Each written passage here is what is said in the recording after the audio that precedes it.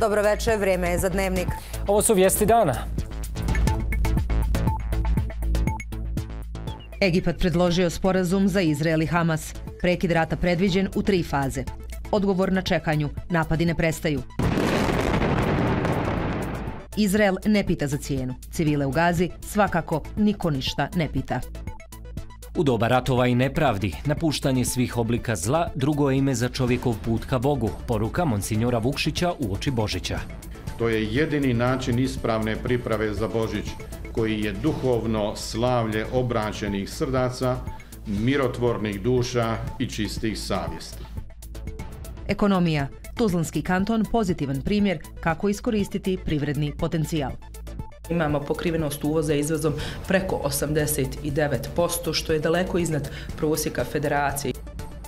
Javna preduzeća u centru interesa politike. Sistem bira, mrači i oblači. Negativni revizorski izvještaji na raspravu mogu samo kada vlast tako odluči. A oni ne žele da javnost bude upoznata sa e, stanjem u tim preduzećima. Dugogodišnja pauza u Narodnoj skupštini RS-a pri kraju. Čemu onda služi izvještaj ako nećemo iz njega izvući neke zaključke? Zakoni, odredbe i poslovnici na jednu, skupštinske većine na drugu stranu. Demokratija na bosansko-hercegovački način. Na papiru pravila jasna, ali vlast često nađe način kako zaobići ono što je po njih neugodno. U nizu primjera i negativni revizorski izvještaje. U RS-u posljednji put razmatrani 2019. godine, a onda uslijedila blokada komisija i kontrola sistema i javnih institucija i onoga što se o stanju u ovom sektoru smije govoriti. Nakon četiri godine pauze u Skupštini Republike Srpske ponovo će se raspravljati o negativnim revizorskim izvještajima u javnom sektoru. U prethodnom sazivu Skupštine rad odbora za reviziju bio je neko vrijeme blokiran, s obzirom da predstavnici vladajuće koalicije nisu htjeli dolaziti na sjednice. Insistiranje opozicije napokon je urodilo plodom. Evo, i u, re, u programu ekonomskih reformi za 2024-2026. godinu govori se uporno o e, reformi javnih preduzeća, a oni ne žele da javnost bude upoznata sa e, stanjem u tim preduzećima i šta je to na osnovu čega su dobili negativna mišljenja revizije. Na prethodnoj sjednici napustio sam e, sjednicu odbora za reviziju i tražio sam da se Narodna skupština i zakonodavni odbor izjasne o kršenju poslovnika, o tome kako vlast koja ima većinu e, obstruiše da se u skladu s poslovnikom svaki negativan izvještaj glavne službe za reviziju nađe na sjednici Narodne skupštine i da se prosledi tužilaštvu. Pomalo iznenađujući, ali zakonodavni odbor na čijem čelu sjedi kadar SNSD-a ipak dao svoje mišljenje, u kojem je navedeno da negativni revizorski izvještaj treba da se nađu pred poslanicima. To će na neki način opteretiti dnevni red Narodne skupštine, ali gledajte, to je uh, nešto što piše u poslovniku. Naše je bilo da to tumačimo onako kako, kako piše, da tu uh, ne izmišljamo, što bi naš narod rekao, toplu vodu i takve stvari će biti predmet razmatranja i prethodni izveštaj koji smo imali priliku u odboru za reviziju da razmatramo i naravno svi oni budući negativni revizorski izveštaj. Tako će se već na narednoj sjednici Narodne skupštine naći izvještaj nekoliko bolnica, domova zdravlja, Lutrije i šuma Republike Srpske. Resorni ministar za oblast šumarstva kaže da stanje u toj oblasti treba da bude predmet ozbiljne rasprave. Da sve mora biti transparentno, pogotovo kad se radi o prirodnom bogatstvu. Šume su naše prirodno bogatstvo. Šume nisu, šumama samo gazduje e, direkcija i sigurno da ima obavezu i pogotovo da negativni revizorski izvještaj trebaju biti na, na svaki mogući način transparentni, publikovani. Pa za, čemu onda služi izvještaj ako nećemo iz njega izvući neke zaključke. I u nevladinom sektoru koji prati rad revizije upozoravaju da je dosadašnje izbjegavanje vladajuće većine u stvari izbjegavanje odgovornosti za loše stanje u javnom sektoru, bez obzira što takvi izvještaji treba da budu i dostavljeni u tužilaštvo. Tužilaštvo onda na osnovu svojih postupaka kako radi, jel da ne bismo stavljali nikakav pritisak, odlučuje da li su neki procesi bili koruptivni, da li, da li ovaj, sadrže neke elemente krivičnog dijela. E, posljednjih godina i nije baš bilo praksa da se ne, nešto iz tih negativnih izvještaja dešava u smislu da tužilaštvo podiže optužnicu, uglavnom se ti predmet na kraju stavi ad acta ili se ne, ne, ne ulazi u proces. Jer... Posljednji put negativni revizorski izvještaj pred poslanicima je bio na sjednici 2019. godine. Od tada je napisano još 19 negativnih izvještaja. Međutim, kako saznajemo, na sjednicama odbora za reviziju je govoreno da ne treba iznositi prlja veš, ani da poslanici nisu kompetentni da o izvještajima raspravljaju. Rok je pri kraju, a najava Kristijana Šmita, visokog predstavnika u Bosni i Hercegovini, o eventualnom nametanju izmjena izbornog zakona BiH sve je izvjesnija. BiH političari uprkos tome i dalje na različitim stranama i u procesu međusobnog optuživanja. Stigla reakcija iz SDA. Poručuju, vladajuće stranke imaju priliku dokazati jesu li za evropski put i poštene izbore. Navode i da SDA nikada nije odbijala dobre prijedloge već glasala za one koji su se odnosili na unapređenje transparentnosti i integriteta izvornog procesa, ali poručuju ne i po željama HDZ-a BiH.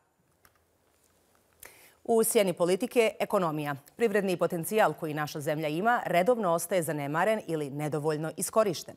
Nelogičnosti nikad dosta, poput one da redovno uvozimo primjera radi vodu, iako je naša zemlja poznata po jednim od najčišćih izvora. Podaci su i da je pad robnog uvoza usporen na godišnjem nivou, a pozitivan primjer predstavlja Tuzlanski kanton. Petina izvoza Federacije Bosne i Hercegovine realizuje se na području ovog kantona, a posljednje informacije govore da pokrivenost uvoza izvozom iznosi više od 89%. Analiza kolegice Azredel Manović-Avdić. Najveći izvoz Tuzlanski kanton ima u hemijskoj, elektrometalnoj, drvnoj i autoindustriji, a iz godine u godinu visoko na ljestvici podiže se i tekstilna industrija. Trend rasta u izvozu zabilježen je posljednje dvije godine.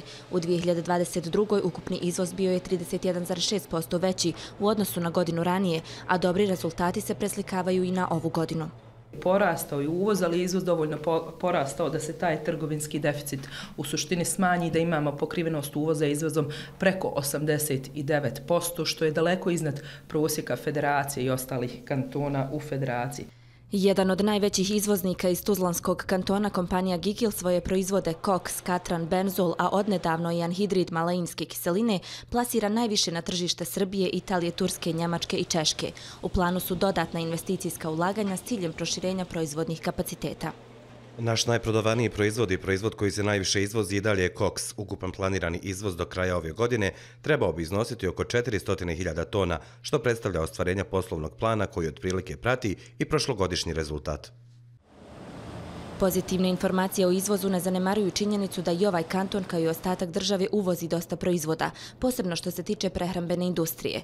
Domaća proizvodnja u tom slučaju nerijetko biva zanemarena, a jedan od razloga je preferencija potrošača koji biraju da kupe inostrani proizvod, čime potiču potražnju za uvozom hrana i, i, ovaj, i piće se uvozi i to je nešto što mi sigurno možemo proizvoditi, proizvodimo, imamo kvalitetne proizvode, nažalost e, dosta toga se e, uvozi i plasira na našem tržištu, kao što ste i rekli sama voda i ostali proizvodi koji doista nemamo nikakve potrebe da uvozimo. Jasno je da domaća poljoprivreda u ovom trenutku ne zadovoljava potražnju, kaže struka, no to nije jedini razlog zašto naši proizvodi ne dolazi do kupaca u omjeru u kojem bi trebalo.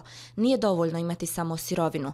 Potrebno je strateški osmisliti put do tržišta, obezbijedivši kvalitet i prepoznatljivost. Mi možda imamo bazu sirovinu, dakle taj proizvod u nekom sirovinskoj formi i tako dalje, ali e, dalek je put do tržiša, što znači treba raditi dakle, na samom marketingu tog proizvoda. Kada je u pitanju Tuzlanski kanton, važno je spomenuti da se na ovom području proizvodi i električna energija. U 2022. godini je izvoz električne energije iznosio milijardu i 74 miliona maraka, no ovaj segment se ne pripisuje Tuzlanskom kantonu, s obzirom na to da sjedište elektroprivrede nije na ovom području.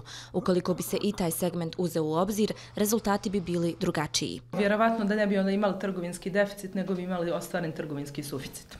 No sve su to u konačnici rezultati Bosne i Hercegovine, čiji privrednici i poljoprivrednici zaslužuju bolji tretman. Kada bi se u budućnosti riješili problemi na graničnim prijelazima i višednevni zastoji zbog kojih poljoprivrednici imaju prepreke u isporuci robe, sigurno je da bi u ovoj oblasti se poboljšao izvoz. Brza cesta koja je tu zlacima nedosanjani san bi također uticala na privredni razvoj i olakšala transport, no to su obećanja čija realizacija je i dalje na dugom štapu. Milorad Dodik, predsjednik BH entiteta Republika Srpska i danas je nastavio s uvredama. Mete iste. Američkog ambasadora Majkla Marfija, ali i Kristijana Šmita, visokog predstavnika u BiH, optužio je za zloupotrebe položaja zarad lične koristi, a koje će tvrdi Dodik naknadno izaći na vidjelo. Ništa novo ni u pogledu budućnosti Republike Srpske. Ona će, tvrdi Dodik, biti nezavisna, a BiH nemoguća zemlja. Najradije bi čim, čim se bruži prilika da Republika Srpska izaći iz Bosne Nećemo rat, nećemo sukobe. Ne treba da padne ni jedna ljudska život za te političke ideje. Ali racionalno, realno, životno, e, ne možete zaživiti u Bosni i Hercegovini. Vladimir Ilić, član glavnog odbora Narodnog fronta, napadnut je sinoć u Zvorniku. Predsjednica stranke Jelena Trivić poručuje da ovaj incident ima političku pozadinu. Trivić ističe da verbalni sukobi prerastaju u fizičke napade i dodaje da nasilje ne može imati opravdanje. O događaju je obavješten dežurni tužilac okružnog javnog tužilaštva u Bijeljini koji je naložio poduzimanje svih mjera i radnji na dokumentovanju navedenih krivičnih dijela.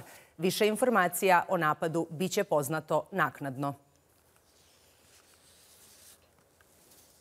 Izrael je nastavio bombardirati pojas Gaze. U posljednja 24 sata ubijeno je više od 160 palestinaca. U borbama sa pripadnicima Hamasa poginulo je osam izraelskih vojnika. Diplomatska ofanziva sve jača. Egipat je, tvrde tamošnji mediji, sastavio dogovor u tri faze za zaustavljanje borbi i oslobađanje talaca. Wolfgang Petrić, bivši visoki predstavnik u Bosni i Hercegovini, u intervju za Slobodnu Evropu kazao je da dijalog Beograda i Prištine ne smije biti izolovan od pristupnih pregovora sa Srbijom. Evropska unija jedina je opcija za zemlje Zapadnog Balkana, a komentirao je i situaciju u našoj zemlji. Ono što definitivno ne želimo da vidimo je još jedna Republika Srpska na Kosovu, što međunarodna zajednica isključuje kao model. Tužno je iskustvo u Bosni i Hercegovini sa Republikom Srpskom je znak upozorenja da se ne ponovi ista greška na Kosovu. Inače, Aleksandar Vučić obratio se javnosti, a u fokusu niz tema, od ekonomije, planova do nedavno održanih izbora. MUP je, kaže, utvrdio da nije bilo fantomskih glasača, te da će se Beogradski izbori ponoviti samo ako se ne bude mogla konstituirati Gradska skupština. Blagdanski su dani, a pripadnici katoličke vjeroispovijesti večeras slave Badnjak i pripremaju se za Božić. Blagdan kada slave rođenje Isusa Krista. Ove godine, zbog masakra nad palestincima u pojasu Gaze, Božićne radosti nisu dostigle svoj puni sjaj. U Betlehemu, gradu u kojem se vjeruje da je rođen Isus, umjesto svečanih dekoracija postavka porušenih palestinskih gradova, slično i u drugim zemljama.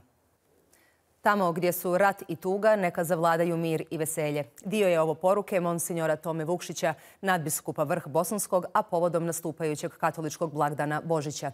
U vrijeme ratova i nepravdi cilj je poručuje napustiti sve oblike zla i lošeg ponašanja. Napuštanje svakoga oblika zla, svih zlih nakana i dijela, drugo je ime za čovjekov put prema Bogu a istovremeno obraćenje su također jedina vrata po kojima kraljevstvo Božije ulazi u čovjeka i jedina staza po kojoj Bog prilazi čovjeku. To je jedini način ispravne priprave za Božić, koji je duhovno slavlje obraćenih srdaca, mirotvornih duša i čistih savjesti. Tako je naučavao već Isusov preteča Ivan Krstitelj, koji je počevši od judejske pustinje, stalno ponavljao obratite se jer se približilo kraljevstvo nebesko. Pripravite put gospodinu i poravnite mu staze. I na kraju, sa željom da se po našem obraćanju u nama Isus na duhovan način rodi, zauvijek nastani i ostane, svim svećenicima, redovnicima, redovnicama i ostalim kristovim vjernicima u vrh Bosanskoj nadbiskupiji i vojnom ordinarijatu želim blagoslovljen Božić, a svim ljudima sretnu i blagoslovljenu cijelu 2024. godinu.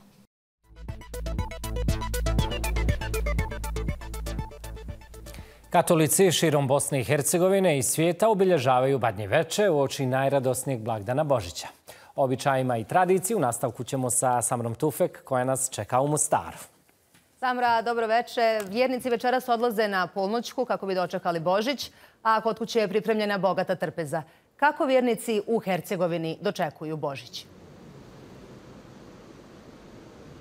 Eh, Olivera, možemo kazati da kada je pitanju Hercegovina, evo konkretno Mostar, zaista se osjeti eh, praznična atmosfera, ulice su poprilično u Mostaru prazne, Pa vjerovatno zbog toga što se građani pripremaju za večerašnju polnoćku i nastupajući sutrašnji e, Božić. E, kada je u pitanju e, Mostar i Hercegovina, običaji se razlikuju od mjesta do mjesta po načinu kako se on obilježava, ali njegova nekako najznačajnija ideja i ono po čemu se on najviše prepozna jeste širenje te radosti, ljubavi, e, porodičnog okupljanja. Zbog toga se evo i priprema ta bogata trpeza, trpeza kako si e, kazala.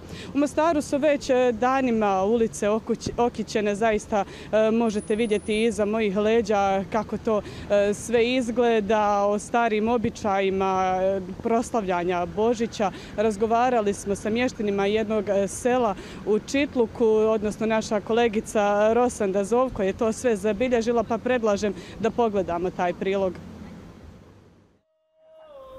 Badnja je večer i obitelje na okupu. Uz zajedničku molitvu iščekuje se Božić.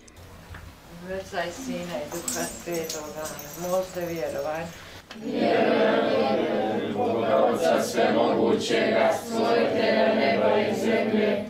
Na selima u Hercegovini još se njeguju stari običaji vezani uz badnju večer, ponegdje izvorni, a drugdje pak prilagođeni modernom načinu života. Ipak, tradicija se održava. Panis Marija.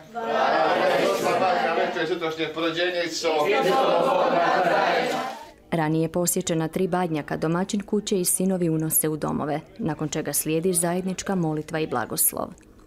Kod nas se unosi sada badnjaci na badnje veče. Idu se sjeć badnjake, uglavnom muško ide sjeci badnjake, otac ili djed ili sin, kako ko može. A pretežno je se išlo u starije prija e, e, glava kuće. Badnjaci simboliziraju sveto trojstvo. Postavljaju se pokraj ognjišta, iz njihove vatre palile bi se božićne svijeće. Stariji mještani pamte vrijeme kada se kuća posipala slamom, koja simbolizira onu iz Betlehemske štalice. E, bilo bi da bi posipali neko slame malo bacio dole po kući i onda kad se ulazi to žito, što bi bilo malo kukuruza, to se nije mnogo bacalo jer nije bilo. Mislim, to je moralo ostaviti da se samlije da bi imali šta jesti. Jelo se skromno. Za badnji dan pripremala su se posna jela. Rogač te suhe smokve i grožđe u početku su bile jedine slastice. Od slanih jela za badnju večer bi se pripremala pogača.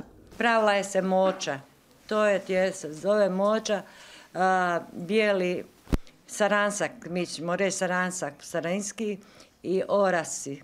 I pomješa se sa, hu, sa uljem. I malo stavi se sol i to se izmiješa i uzme se tvrda pogača i umače se i jede se.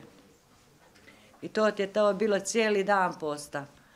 U početku su se i domovi ukrašavali skromno. Božićno drvce kitilo se mnogo kasnije, a da je vrijeme radosti i veselja, odavao je tradicionalni ukras oko prozora i vrata. Mi za badnjak na večer kitimo kuću ili štalu šta god ima oko kuće sa bršljanom. Svijeće bi se stavile u jednu šta bi imao ili teglu ili nešto bilo šta ovaj u kukuruz mi bi stavljali kukuruz a ovaj i jedna jabuka ide u sredinu i okolo bi se stavio bršćan, eto čisto da se malo ukrasi. Ipak, iako skromnije, bilo je, kažu naše sugovornice, po mnogo čemu radosnije nego danas. Sela nisu bila prazna, brojala su veliki broj djece i mladih. Ima dosta svega, ali nema, nema ono u čovjek unutarnju tu radost kod tada što je bilo. Mi smo bili tako zadovoljni samo sa jednom smokvom. Dijelo se tako uz molitvu i pjesmu na badnju večer, iščekujući polnočku i Kristovo rođenje. Za mnoge vjernike božićni blagdani svojevrsna su, kako svjedoče ove bake iz Vionice, kolektivna nostalgija za vlastitim djetinstvom, jer dijete je simbol iskrenosti koja često u svijetu odraslih izostaje. Djetešce iz štalice nas ipak podsjeća da ponovno probudimo dijete u sebi i širimo poruku ljubavi i mira. Uz čestitku svim gledalcima ko obilježavaju ovaj praznik se odjavljujemo iz Mostara. Sretno Badnje veče i Božić. O običajima, tradiciji i blagdanskom raspoloženju u Hercegovini u Mostaru za dnevnih dva Samra Tufek. Samra, hvala lijepa na ovom uključenju. Više od 2000 trkača sa svih strana svijeta posjetilo je Mexico City da bi trčali petu Santaran utrku. Utrku na 1,5 i 10 km učesnici trče obučeni u odijelo Djeda Mraza. U ovom blagdanskom raspoloženju završavamo dnevnik. Svim vjernicima želimo sretno badnje veče i blagoslovljen Božić. U nastavku sportske novosti sa Darijom Mehmedovićem. Hvala na pažnji i doviđenja.